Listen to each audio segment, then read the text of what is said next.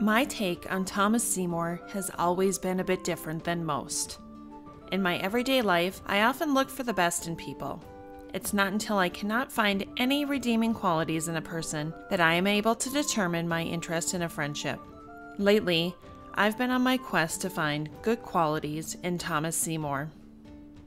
Hi, I'm Rebecca Larson, and you're listening to my Tudors Dynasty podcast. In today's episode of A Brief History, we take a look at Thomas Seymour, son of John Seymour and Marjorie Wentworth. Seymour was born about 1508, presumably at Wolf Hall. He was one of ten children, six sons and four daughters, born to John and Marjorie. You may recognize him best as brother of Queen Jane and Edward Seymour, Duke of Somerset, or, better yet, the man who wished to marry Princess Elizabeth but ultimately wed the widow of Henry VIII, Catherine Parr. The Seymour family descended from a long line of wealthy ancestors. For generations, they held a leading place among English gentry. Thomas Seymour's career was fairly short, but definitely memorable. Today, when Thomas's name is brought up in conversation or debate, it is usually followed by name calling, like ambitious or greedy, and leads to a hot debate about what kind of man he was. Thomas and his brother Edward were relatively unknown until their sister Jane became queen consort. In TV programs like Showtime's The Tudors, the Seymour men were instrumental in arranging Jane's rise to the throne. Author John Maclean of Life of Sir Thomas Seymour states that there is no reason to believe that the Seymour family took any part in promoting the marriage between Henry VIII and Jane. I'm not certain I believe this, since it was often reported that fathers and brothers used their daughters and sisters as pawns. You can beat the judge. It wasn't until roughly a year after his sister Jane became queen that Thomas emerged as a gentleman of the Privy Chamber. After Jane gave birth to a prince and sadly died, Thomas's career really began to take off. The death of his sister in October 1537 did not diminish his royal favor, when in 1538 he was knighted and is documented as sharing in the wealth of the plundered property of the church.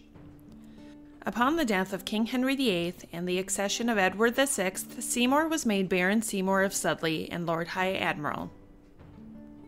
As we now know, his brother Edward was raised to Duke of Somerset and Lord Protector, making him, after the king, the most powerful man in England. This essentially led to an ongoing feud between the two brothers, as Thomas believed he should have been given a much greater title since he was also uncle to the king. Thomas Seymour did not marry until 1547, even though he was a very attractive man who was generally well respected by his peers.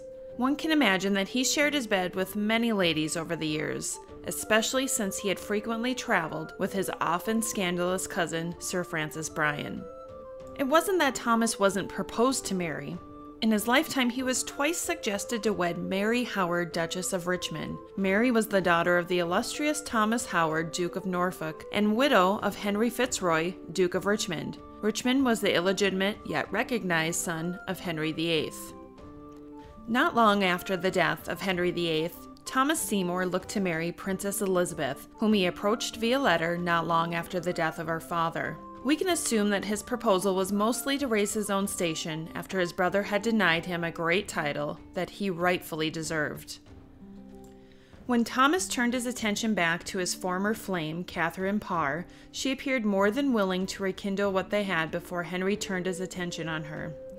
She even goes so far in a letter written around mid February 1547 to mention that her mind was fully bent the other time she was at liberty to marry him before any man she knew. However, God had other plans for her and wished her to wed Henry VIII. It was merely months after the death of Henry VIII that we hear of midnight visits between the couple at Chelsea. They married secretly not long after, and an exact date is unknown. After Thomas and Catherine had been secretly married, they knew that they needed approval of the Lord Protector, and they had not yet received it. Thomas was a sharp man. He knew that if he could receive the blessing from his nephew, the king, that all would be well. So what did he do? He had a discussion with the king's servant, John Fowler. He put Fowler up to ask the king whom he should marry. When Fowler brought it up in conversation with the king, Edward suggested first Anne of Cleves, and then quickly followed by his sister Mary, to assist her with changing her mind on her religion. Clearly, this is not what Seymour wanted to hear. Catherine Parr also took up the cause and wrote letters to her stepson, where she was able to keep his good favor. By June 1547, the king was writing a letter of congratulations to Catherine on her marriage to his uncle, seemingly believing it was his idea that they should wed. The secret marriage, under the rule of Henry VIII, would have either cost them both their heads or a lifetime in the Tower of London, had become recognized by the king. They were officially husband and wife in the eyes of the crown. On the 30th of August, 1548, Catherine Parr gave birth to a daughter, Mary. Both Catherine and Thomas were very happy, and everything appeared to be going well for the Queen. However, not long after giving birth, things began to turn for Catherine. She became feverish and incoherent. On the 3rd of September, she is recorded by her close friend as being suspicious of her care, saying she was not well handled.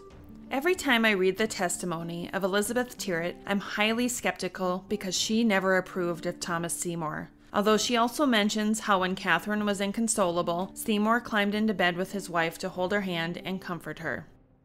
There is no documentation of Thomas Seymour's sexual liaisons prior to his marriage to Catherine, and there are no reports of him having any mistresses. I truly believe that he loved Catherine since before she was married to Henry VIII and continued to think about her until the day they were able to rekindle their relationship after the death of her third husband. While he was indeed a very ambitious and possibly greedy man, he was also human.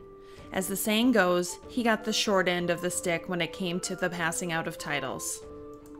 Thank you so much for joining me today on a brief history of Thomas Seymour.